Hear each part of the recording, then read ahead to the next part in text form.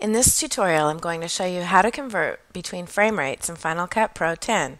For this example, we will be using footage from the Canon 5D Mark II. It's 29.97 frames per second progressive footage, and we will be converting it to 23.976 frames per second progressive footage. Keep in mind that you can use this technique to convert frame rates, including interlaced and progressive input and output settings. You should be familiar with the basics in Final Cut Pro 10 before watching this tutorial. You can learn the basics by watching the overview tutorial first. We'll start a new project and instead of selecting Set based on first video clip, which will give you the timeline attributes of the first clip, we will choose Custom. When we choose Custom, you can see we have full control to input the format, resolution, and the frame rate. This is where we indicate which frame rate we want to convert our footage to. I'll change the frame rate to 23.976. Final Cut Pro 10 rounds it out to 23.98 for display purposes, but internally it's still 23.976.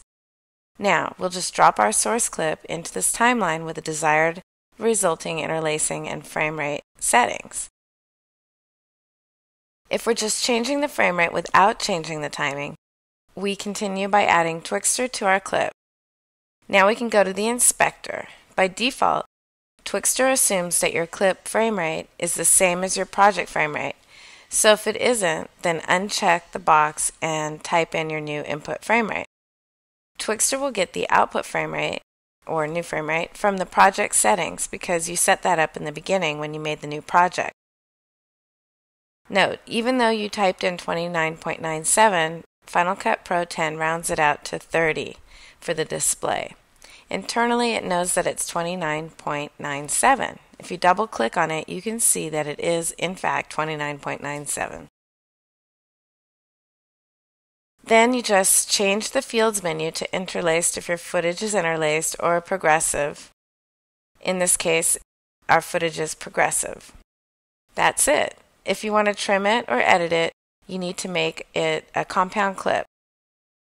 If you also want to slow it down when you frame rate convert, you can also set the speed or frame number settings as shown in the Final Cut Pro 10 overview tutorial.